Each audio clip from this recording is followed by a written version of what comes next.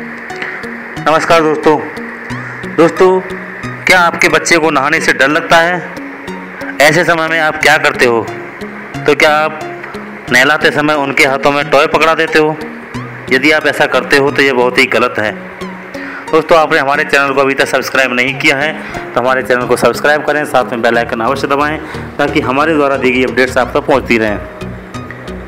दोस्तों, छोटे बच्चे अक्सर नहाने से बहुत डरते हैं। इसीलिए ज़्यादातर माँ बाप उनके हाथों में उन्हें चुप करने के लिए कुछ खिलौने पकड़ा देते हैं। लेकिन क्या आप जानते हैं कि रबर के ये खिलौने उनके लिए कितने खतरनाक हो सकते हैं?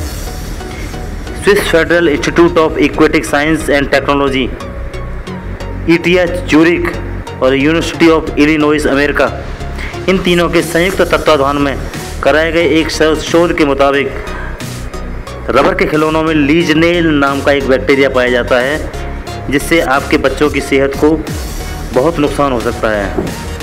यह बैक्टीरिया खिलौने के अंदर मौजूद होता है, जिससे आँख, कान और पेट में इन्फेक्शन का खतरा बना रहता है।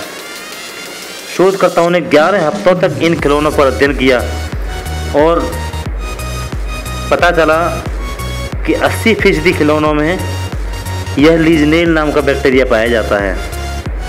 दोस्तों अगर आप भी ऐसा करते हो और अपने बच्चों के हाथों में नहलाते समय खिलौने पकड़ा देते हो तो आज से ऐसा करना बंद कर दें और अपने बच्चों को इन सब बीमारियों से बचाएँ।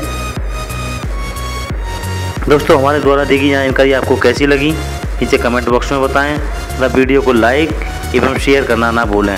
नमस्कार।